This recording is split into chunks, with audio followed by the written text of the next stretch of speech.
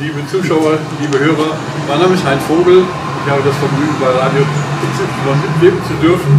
Und äh, ich bin auf eine Besonderheit, oder ich mache Sie vertraut mit einer Besonderheit, denn auf dem Grünewalder Hof gibt es nicht nur Weine zu probieren und zu kaufen oder Ferienwohnungen zu mieten, sondern es gibt noch eine Besonderheit. Das Stichwort dazu heißt Abenteuer Dachzelt. Der Name ist sozusagen Programm, aber was genau dahinter steckt, darüber sprechen wir jetzt mit dem Inhaber, das ist Martin Stein. Und er verrät uns jetzt, was genau dahinter sich verbirgt. Martin. Oh. Ja, also wir haben hier eine Dachzeltvermietung. Ein Dachzelt, das sind äh, Dachzelte, also Zelte in der Hartschalenform oder in Fruchtform, werden auf das Autodach oben drauf geschraubt, wie eine Dachbox. Ja. Und sind sehr schnell aufgebaut, man kann sehr bequem drin schlafen und erfreuen sich große Bequemlichkeit, glaube ich.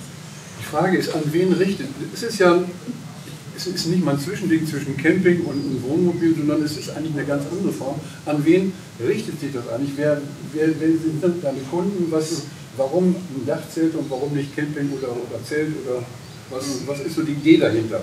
Äh, sehr vielschichtig, sehr vielschichtig. Meistens ist Abenteuerlust und Neugier, weil viele Leute kennen die Dachzelle tatsächlich nicht. Ja. Die wollen einfach mal ausprobieren, wie fühlt sich da oben drin an. Das ist eine sehr besondere Geschichte. Es ist nicht Wohnmobil, es ist nicht Zelt, es ist was zwischendrin. Man schläft fast so gut wie im Bett, aber in der freien Natur draußen, hat ein relativ robustes Dach über sich und hat meistens durch die Höhe im Fahrzeug einen sehr schönen Blick nach Hause. Und das ist für viele Leute sehr spannend. Wo kommen die Leute her, die das, äh, äh, die das bei dir mieten? Der Umkreis ist enorm.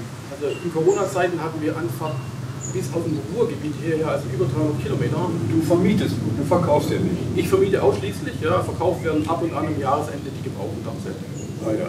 Wie bist du denn nach Hundersburg und hier auf den Grünewalder Hof gekommen? Ist das ein Zufall oder die Freundschaft mit Daniel Burkhardt? Oder, äh? Also ich bin seit ja, über 25 Jahren in Grünewalder, da kann ich Daniel noch lange nicht. Ja. Hierher gekommen bin ich, wir haben ein Haus gesucht in der Zeit. Ja. Damals lebte ich in Mainz und arbeitete in Rüsselzeit und dann hat man hier gelandet. Ja. ja, vielen Dank, dann viel Erfolg und eine schöne Saison für euch. Dankeschön.